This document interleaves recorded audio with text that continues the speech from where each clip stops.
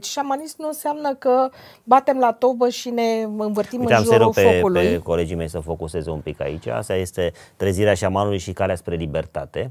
Da, deci luați-o ca pe un ma- manual de evoluție personală, nimic altceva. Uh, și uh, iarăși ce frumos în cartea asta este că uh, Don Jose face niște intersecții între diverse curente spirituale și pune cap la cap două din lucrurile mele favorite, budismul și șamanismul, și arată că sunt una și aceeași metodă, dar cu aspecte diferite. Uh, și aveți acolo și exerciții, și aveți acolo și meditații, și aveți acolo instrumente care vă ajută să reflectați. Dar, deși lucrurile par simple când le citești, cartea e formulată foarte uh, direct uh, și prietenos, aș spune, uh, ele necesită o formă de practică încăpățânată. Și dincolo de practică ai nevoie de trei lucruri. Unu, să vrei să evoluezi, că sunt unii care sunt foarte bine așa cum sunt, da? și care eventual o să vrea să evolueze după ce au un accident sau o boală, uh, să ai atenție. Atenția este unul din instrumentele importante ale șamanului care îi permit să se concentreze și să ai o formă de centrare liniștită care să uh, îți dea voie să percepi acele lucruri care nu sunt subiectul simțurilor grosiere. Așa cum simți când cineva intră pe ușă și nu e ok. Dar nu știi să explici nici de ce, nici ce. Ceea ce copiii uh, o fac în mod natural. Categoric. Uh, pentru că nu, nu pot să nu-mi amintesc de această înțelepciune armenească, apropo de spațiu ortodox, de a-și alege patriarhul nu în urma unor negocieri episcopare, ci în urma așezării unui copil în brațele unuia dintre uh, concurenții pentru cea mai înaltă funcție a bisericii armenești. Adică asta arată încă o dată că um, principiul ăsta cristic, lăsați copiii să vină la mine, că ei vor uh, vedea împărăția lui Dumnezeu, este absolut valabil. Șamanul, până la urmă, e acel copil uh, Uh, care și-a păstrat intacte nu? toate simțurile pe care cu toții le avem până să ne maturizăm, adică să ne civilizăm, să ne luăm să în ne serios, domesticim. să ne domesticim, ca să trecem și către a doua carte și să o mai uh, Și domesticirea, de fapt, reprezintă pierderea acestei legături cu interiorul. Domesticirea înseamnă că m-am pierdut în lume. Și aici e foarte importantă pilda fiului rătăcitor, uh, pe care o găsești și în, în Biblie. Pentru că uneori ca să te găsești ai nevoie să te pierzi. Dar după ce te pierzi, după ce te rătăcești, îți regăsești busola și când vii, vii schimbat. Îmi vin în minte cărțile lui Coelho despre pelerinajul la Santiago de Compostela sau poveștile prietenilor mei care s-au dus acolo sau ale prietenilor mei care s-au dus la Atos, lucru pentru care îi invidiez fără niciun fel de jenă și remușcare. Uh, și uh, sunt lucruri care te transformă. Te-ai dus, te-ai pierdut, te-ai găsit și vii înapoi altcineva într-un fel sau ești pe o altă coordonată. Uite, pentru că ai o femeie încă nu poate ajunge la Atos, eu pot să-ți recomand o mănăstire atonită de la noi și să le recomand tuturor celor care vor să simtă uh, Duhul atonit, dar la noi, la Mănăstirea Oașia din Obârșia Lotului, unde pot evident uh, participa și femeile și unde fac parte din viața uh, Uh, obștei uh, și foarte multe fete și femei care uh, sunt foarte bine primite acolo și a căror energie spirituală este valorizată așa cum trebuie.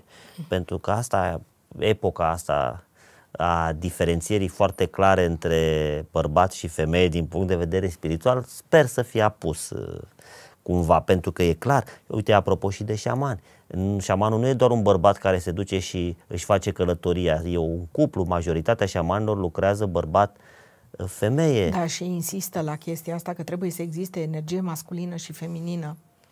Iar uh, uh, dacă ne uităm în tradiție, de exemplu în America de Nord, sunt e un consiliu de 12 persoane în vârstă. Ele sunt the grandmothers, bunicile. Deci nu the grandfathers. Există un consiliu al bunicilor, iar uh, indienii din America de Nord cred că femeile nu trebuie inițiate pentru că ele deja s-au născut inițiate. bărbații sunt cei care trebuie inițiați. Sunt foarte interesante, sunt niște mituri din astea care au în centru planeta care este de origine feminin și atunci un respect extraordinar pentru tot ceea ce este feminin. Și bărbatul, practic, uh, orbitează în jurul acestui pol care este întotdeauna feminin. Și uh, în felul ăsta se redefinesc și rolurile și ei au o, un echilibru foarte bun în trib din cauza asta. Păi da, complementaritatea asta, yin-yang, bărbat, femeie, masculin, feminin, lună, soare, toate astea până la urmă fac parte din întreg. Noi suntem întregi și noi, ca jumătăți, masculin, feminin, abia când fuzionăm anumite Apare suntem... creația. Și, și evident, asta este chipul și asemănarea noastră dumnezească, că da. din noi se mai naște ceva. Nu se naște din fiecare separat, ci doar din împreună. Da. Uh, Bun, sunt absolut convins că noi am putea să nu ne mai oprim uh, din discuția asta, pentru că nici n-aș vrea, îmi place foarte mult și mă bucură foarte mult să, să te redescoper după atâta timp de când nu ne-am văzut.